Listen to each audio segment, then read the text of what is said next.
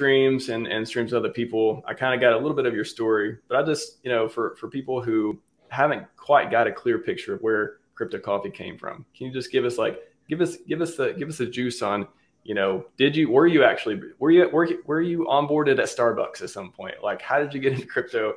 How did you get into Richard Heart stuff? You know, why, why did you decide to join the winningest community that ever existed? Good question, sir. Well, it all started in 2015. Um, recently had graduated college as an engineer, ended up at a financial company, you know, the corporate nine to five lifestyle, just kind of landed in there because that was the path that you took. Um, that was the path that everyone around me told me was going to be successful. And I get into this corporate finance job. I see the suits at the top and, you know, they're, they're all dressed up in collars and ties every day. And, you know, they're making money, but they're essentially a slave to the system.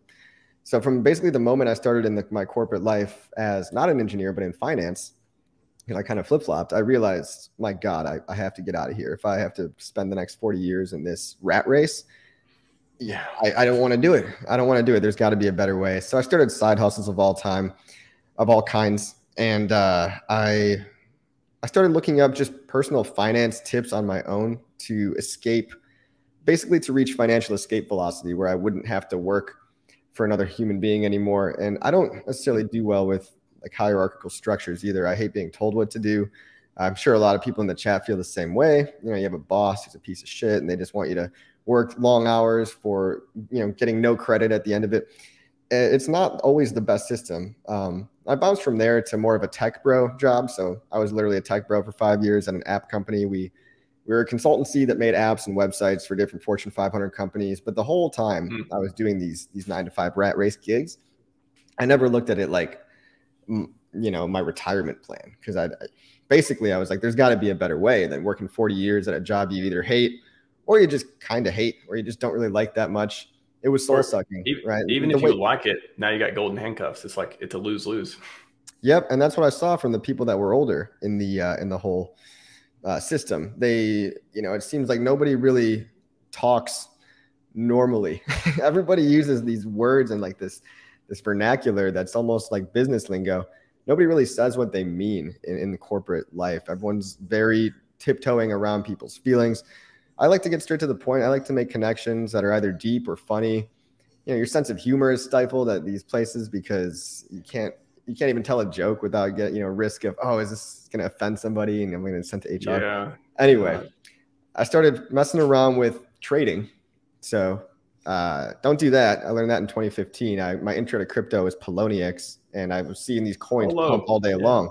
Like, oh, this coin's up 30% today. This coin's up 50% today. Maybe if I could just find some way to capitalize on this, if I could predict which ones were going to pump or whatever, I can make overnight millionaire success money. Obviously, that's probably how a lot of people get into crypto, seeing the massive gains and thinking that they could just get in there and get out in a, a, year or two and make millions. And obviously, that does not work. So I learned the hard way that trading doesn't work. I lost somewhere in like the tens of bitcoins, which at the time a bitcoin was like 500 bucks, right? So I would just buy a couple bitcoin every paycheck, and then I would just lose it in the casino of gambling of, of trading buy a couple mm-hmm. more. And I think when I calculated all of it, I must have lost like 30 to 40 Bitcoin, which if I would have held that today, it would have been millions of dollars. But at the oh, time, wow. at the oh, time, wow. you know, it was like a couple thousand dollars. So it wasn't devastating. And I was like, okay, well, I can still, you know, buy myself back into the game with my my paychecks and whatnot. I started different side hustles along the way. I started a social media marketing agency. Didn't really work. I tried to teach uh, fitness centers how to get more clients so I understand how marketing works online, like limited time offers and all, all these different tactics. Um, but I tried that and I just wasn't wasn't the best at sales. And I think in that particular scenario, it was because I hadn't sold myself on what I was selling to other people. Mm. Unlike Hex, where I'm t- totally sold myself a long time ago. Like I'm all in. Um, anyway, that didn't work. Uh, other side hustles like website development. I used to make websites for people, uh, and this would be like after work stuff. And so the final thing that I tried that failed, and these all failed, by the way.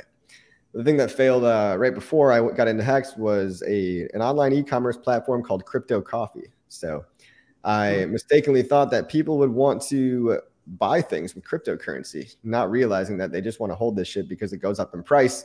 and they have no interest in selling it whatsoever. So obviously, me being technically minded, I went down the rabbit hole. I installed my own like BitPay or what was it? Uh, something BTC server, and it wasn't BitPay because that was centralized. I, I made like a self-hosted okay. payment server, um, BTC Pay, and I, I spent so much time with this platform, like using WooCommerce and all these plugins and whatnot all for nothing essentially because I was selling coffee. Basically, I was a I was a caffeine dealer for a while and charging you know money, you know, selling drugs on the internet. What else is crypto for?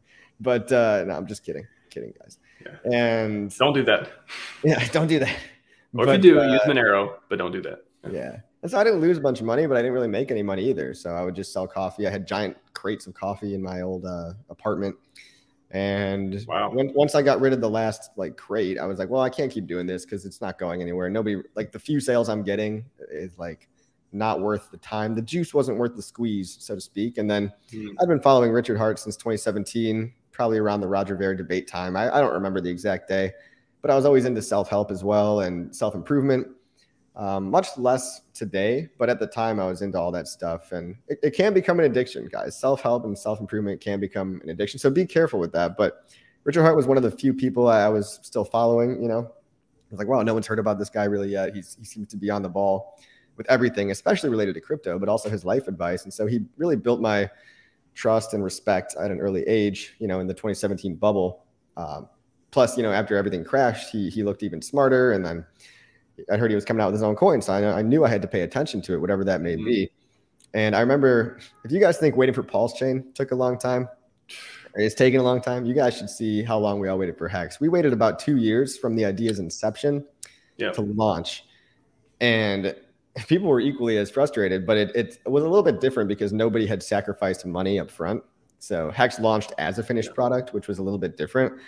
But we were mm-hmm. still all just restless and stuff, but the anticipation was so high for, for me and a, a small group of others at the time, probably like maybe less than a thousand people.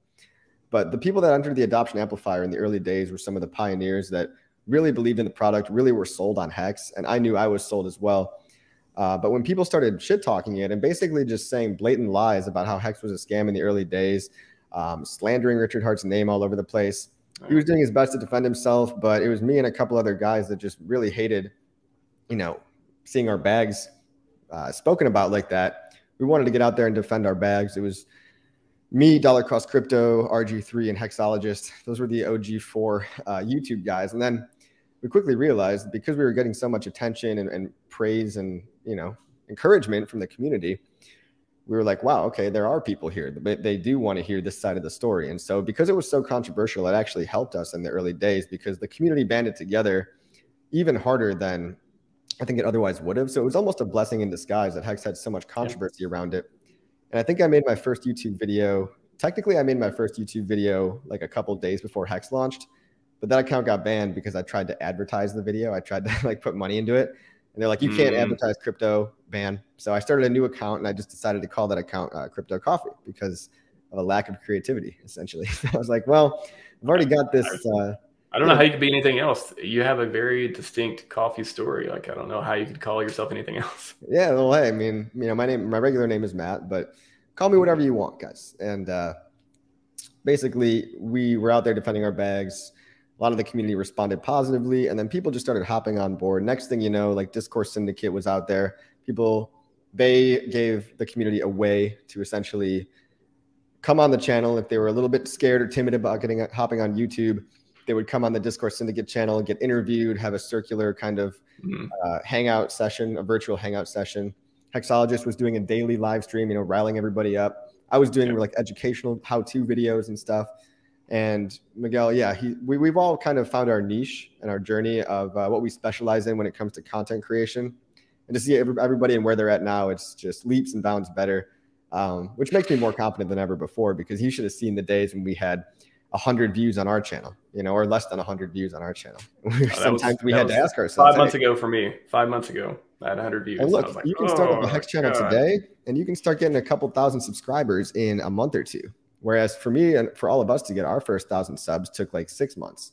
You know, so the snowball rolls down the hill a lot faster now because there's so much mass already in the ecosystem. So the community has so much mass that I think it's a lot easier to get in there. And a lot of people have, and I see a lot of awesome new new people coming in, showing their face and making videos about Hex and Pulse Chain and why they're so great.